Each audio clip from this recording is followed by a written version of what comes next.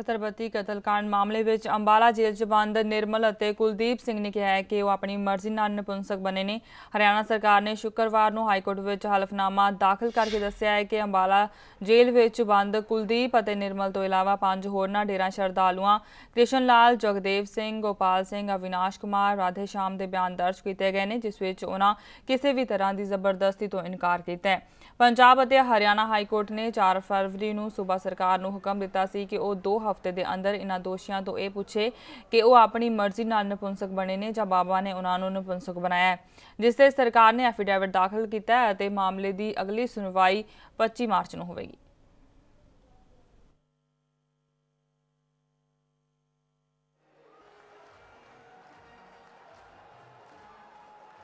Castration की last पिछली तारीख पर हरियाणा गवर्नमेंट से उन्होंने रिपोर्ट मांगी थी कि वो जो चौहान कह रहा है अपनी पटिशन में कि उसके अलावा सात और बंदों को कैस्ट्रेट कर दिया गया। उन्होंने कहा तो उनकी आप स्टेटमेंट्स वगैरह रिकॉर्ड करो, क्या वेदर जो ये कह रहा है उसमें कोई सच्चाई है या नहीं है? तो आज जो है, दौरान हेयरिंग उन्होंने अपनी रिपोर्ट पेश की है हरियाणा गवर्नमेंट ने उसमें उन्होंने सातों बंदों की स्टेटमेंट्स रिकॉर्ड करके बीच में बताया जिस स्टेटमेंट्स में अलग अलग सातों बंदों ने अपने अपने स्टेटमेंट्स दिए कि उन्होंने अपने वॉल्टरली करवाया कुछ कह रहे हैं कि उनको बिकॉज ऑफ डिजीज़ अपनी जान बचाने के लिए कैस्ट्रेशन करवाई है कुछ कह रहे हैं कि हमने स्पिरिचुअलिटी के लिए करवाई है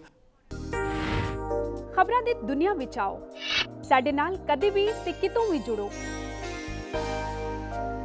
ਆਪਾਂ ਮਿਲਾਂਗੇ ਫੇਸਬੁੱਕ ਤੇ ਅਸੀਂ ਦਿਖਾਂਗੇ YouTube ਤੇ